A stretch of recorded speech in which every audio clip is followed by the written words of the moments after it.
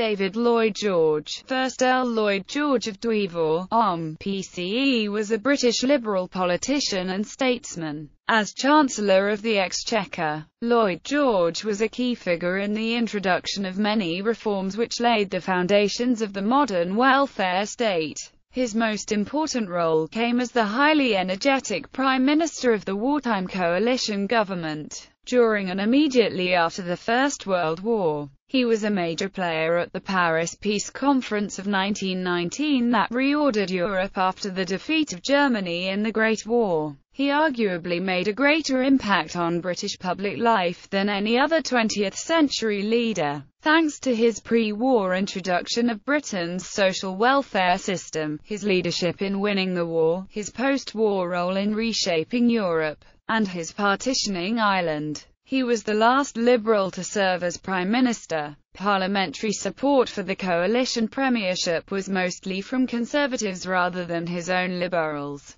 The Liberal split led to the long-term decline of that party as a serious political force. Although he became leader of the Liberal Party in the late 1920s, he was unable to regain power, and by the 1930s he was a marginalized and widely mistrusted figure. Although many prime ministers have been barristers, Lloyd George is to date the only solicitor to have held that office. He is also so far the only British Prime Minister to have been Welsh and to have spoken English as a second language. He was voted the third greatest British Prime Minister of the 20th century in a poll of 139 academics organised by Mori, and in 2002, he was named among the 100 greatest Britons following a UK-wide vote. Upbringing and early life Lloyd George was born in Chorlton-on-Medlock, near Manchester, to Welsh parents. He was brought up as a Welsh speaker and was to become the first Welsh politician to hold the office of Prime Minister. His father, William George, had been a teacher in both London and Liverpool. He also taught in the Hope Street Sunday schools, which were administered by the Unitarians, where he made the acquaintance of Unitarian minister Dr. James Martineau.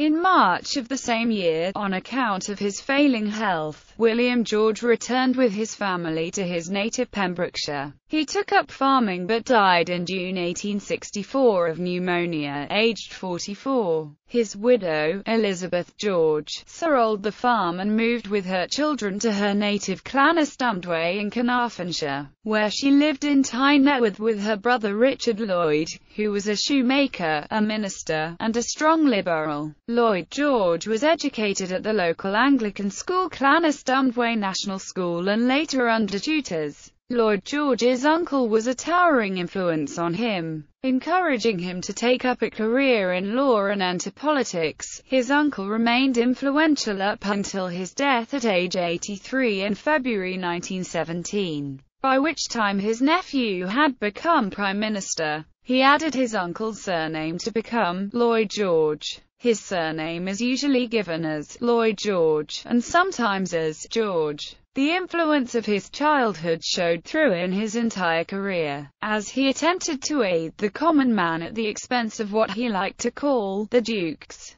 However, his biographer John Grigg argued that Lloyd George's childhood was nowhere near as poverty-stricken as he liked to suggest and that a great deal of his self-confidence came from having been brought up by an uncle who enjoyed a position of influence and prestige in his small community. Brought up a devout evangelical, as a young man, he suddenly lost his religious faith. Biographer Don Cregier says he became a deist and perhaps an agnostic. Though he remained a chapel-goer and connoisseur of good preaching all his life, he kept quiet about that, however, and was hailed as one of the foremost fighting leaders of a fanatical Welsh nonconformity. It was also during this period of his life that Lloyd George became first interested in the issue of land ownership. As a young man he read books by Thomas Spence, John Stuart Mill and Henry George, as well as pamphlets written by George Bernard Shaw and Sidney Webb of the Fabian Society on the issue of land ownership.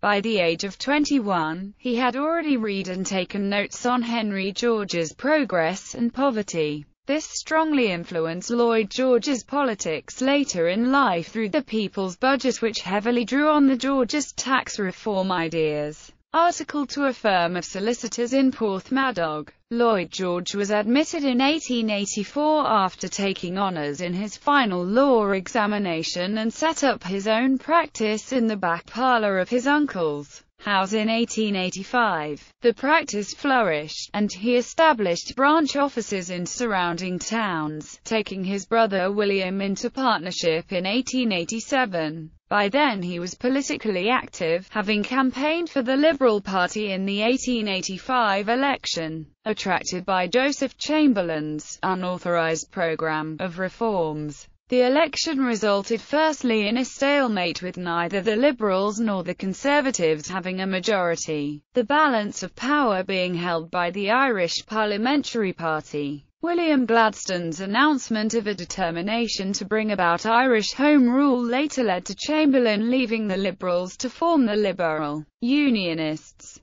Uncertain of which wing to follow, Lloyd George carried a pro-Chamberlain resolution at the local Liberal club uh, and travelled to Birmingham to attend the first meeting of Chamberlain's National Radical Union. But he had his dates wrong and arrived a week too early. In 1907, he was to say that he thought Chamberlain's plan for a federal solution correct in 1886 and still thought so, that he preferred the unauthorized program to the Whig-like platform of the official Liberal Party, and that had Chamberlain proposed solutions to Welsh grievances such as land reform and disestablishment, he, together with most Welsh Liberals, would have followed Chamberlain. On 24 January 1888 he married Margaret Owen, the daughter of a well-to-do local farming family. Also in that year he and other young Welsh Liberals founded a monthly paper Udgorn Rhydyden won on appeal to the Divisional Court of Queen's Bench the Llanfrothen burial case. This established the right of nonconformists to be buried according to their own denominational rites in parish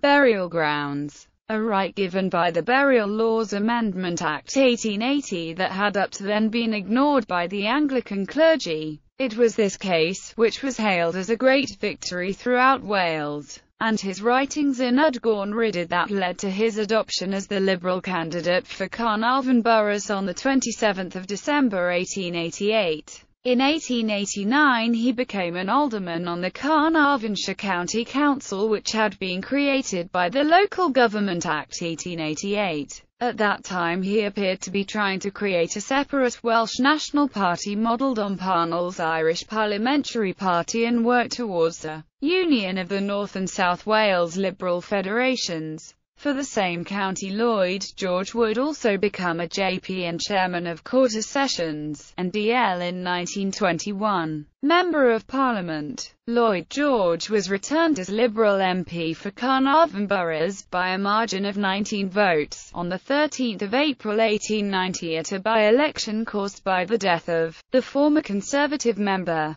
He sat with an informal grouping of Welsh Liberal members with a programme of disestablishing and disendowing the Church of England in Wales, temperance reform, and Welsh Home Rule. He would remain an MP until 1945, 55 years later, as backbench members of the House of Commons were not paid at that time. He supported himself and his growing family by continuing to practice as a solicitor, opening an office in London under the name of Lloyd George & Co., and continuing in partnership with William George in Criccieth. In 1897 he merged his growing London practice with that of Arthur Rhys Roberts under the name of Lloyd George, Roberts & Co. He was soon speaking on liberal issues throughout England as well as Wales. During the next decade, Lloyd George campaigned in Parliament largely on Welsh issues and in particular for disestablishment and disendowment of the Church of England.